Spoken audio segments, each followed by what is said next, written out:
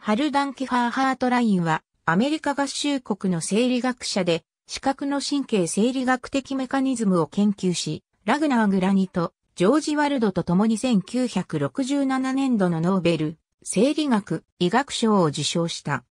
ハートラインは、ボルティモアのジョンズ・ホプキンス大学で網膜の電気、生理学の研究を始め、7年に医学博士号を取得した。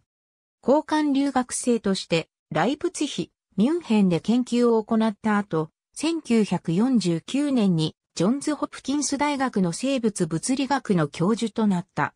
この頃の教え子には、後のノーベル賞受賞者、ポール・グリーンガードらがいる。ハートラインは1953年にニューヨークにあるロックフェラー大学の神経生理学の教授となった。ウッズホール海洋生物学研究所の研究者の一人。ハートラインは、節足動物、脊椎動物、軟体動物などの網膜の電気的応答の研究を行った。